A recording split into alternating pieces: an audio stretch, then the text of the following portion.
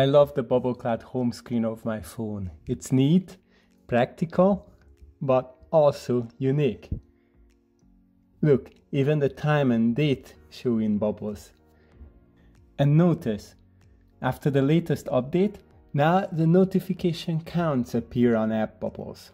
You can enable this new option in the main app as it affects all your bubble clouds at once. When you first turn on the option, it will take you to the Play Store to download the notifications plugin. Good news, if you already use notification bubbles on your smartwatch, this might already be in your library. Otherwise, it only costs the price of a coffee. The plugin also needs to be activated. It's just two clicks, it's all explained in the app.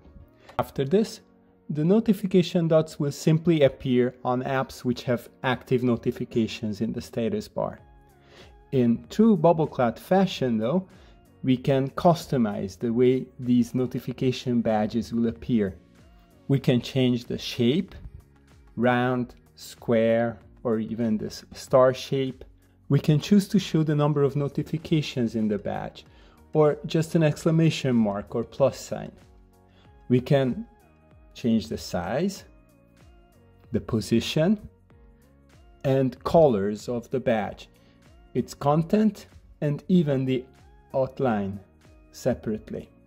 And if all of these wouldn't give you the look you were looking for, you can import your own badges, which can be a simple square shaped transparent PNG image like this butterfly, or a row of badge overlays in a single image to indicate notification counts.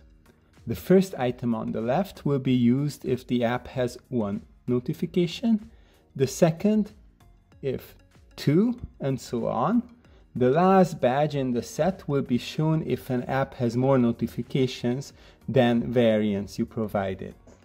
So you can provide a single or a few or as many as 10 variants. The app's website now has a library of free downloadable custom badge sets. If you come up with a design, I would love to include it if you send it. Click to open the badge you want to download. Then, depending on the browser you are using on your phone, long press to save in your gallery. When returning to badge settings in Bubble Cloud, you will be able to import it right away. Big thank you to all of you who requested this feature over the years.